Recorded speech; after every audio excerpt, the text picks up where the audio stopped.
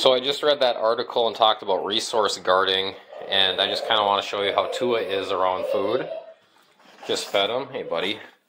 And I'm petting him. Good boy. Good boy. And he's eating, and I'm petting him.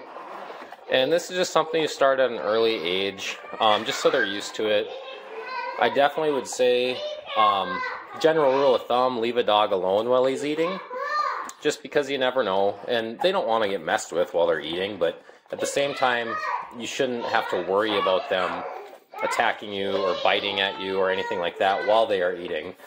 So you just kind of want to get them used to being touched and being nearby them while they're eating at an early age. And Tua doesn't really seem to mind if we mess with him while he's eating or pet his head or, or whatever. And our little dog here is usually around as well. And he's used to always kind of having some commotion going on while he's eating. And as you can see, it doesn't really bother him too much. And that's how it should be. Uh, most bull mastiffs, you know, aren't going to have too much of an issue with this as long as you start from an early age. So just wanted to kind of show you guys how he is around food and kind of relating back to that video I did the other day with uh, the resource guarding bull mastiff that was in the news.